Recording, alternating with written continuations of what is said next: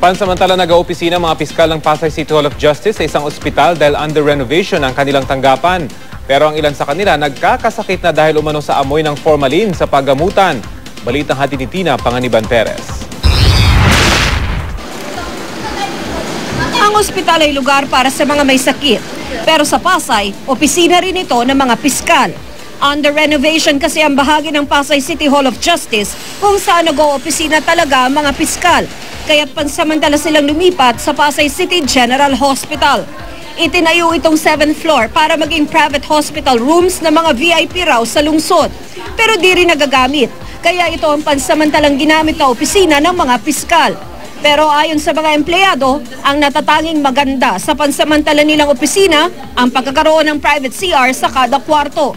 Pangunahing pangamba kasi nila ang seguridad ng mga dokumento at ebidensyang binabiyahe mula rito hanggang sa mga korte sa Hall of Justice at pabalik. Ang mga prosecutor mismo ang nagbibitbit sa mga ito.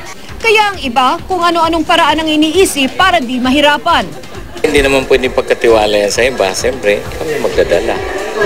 Gano'n po kahirap na nandito kayo, malayo sa korte? Eh, siyempre mahirap, lalo pag umuulan. O mainit ang araw. Tulad ngayon, nagbihis ako kasi basang-basa sa pawis. We see to it na sabay-sabay rin ang pagpunta ng record kasi delikado rin yung mga records namin. Baka mabasa pag umuulan or baka ma-snatch. Pati raw personal nilang seguridad, issue. Sir, wala ba kayong mga napakulong na eh, baka inaabangan kayo sa baba, very exposed kayo? Takot, mag-commute ka o maglalakad ka na nag-iisa. Nadidelay rin daw ang mga proseso. Well, definitely, meron talagang ganong mga aspect, yung uh, delay sa process. Kasi malayo ang, ang court is nasa Hall of Justice. Kami nandirito. So from time to time, yung gustong magpiansa, medyo affected yon. medyo nalalayuan din ho sila. Gawa ng, instead na nandun na siya, sana sila doon, akyat na lang sila doon sa court. Magpapamasahe pa sila dito na pumunta. Ah, so, file sila dito, pero ang hearing, Doon pa rin, doon pa rin ho. Kung saan-saan din napapadpad ang ilang kumukuha ng fiscal clearance. Nalito po kami kasi napunta kami doon sa may mga pasyente po. Naligaw kayo kanina eh. Marami rin sa mga empleyado may sakit na.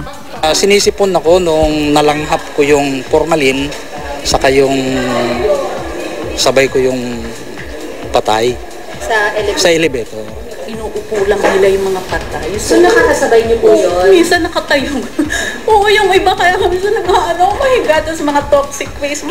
Kami nga paalis na ng ospital nang mapalabas kami ulit ng elevator dahil sa amoy.